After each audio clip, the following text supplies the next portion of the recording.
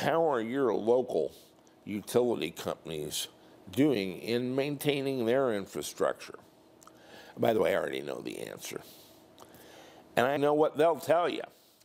And they don't match. We are going into a future where there isn't a grid. It fails, it falls. And if you want electricity from the remnants, you're in a nightmare of government and bankrupt corporation that only has one source of funds, and that's your pocket. And you'll pay, or you'll be left in the dark. Point of use generation and storage of electricity is not a pipe dream. It's the only way I can conceptualize for you to survive. Your civilization does not work without electricity. You will do it my way or you will fail. You focused on generation, and a lot of you put all your energy in nonsense crap about green and global warming and so forth. How about global cooling in your freaking house in February because you're not going to have any heat? How do you feel about that? This is a much more dire and imminent situation than what you're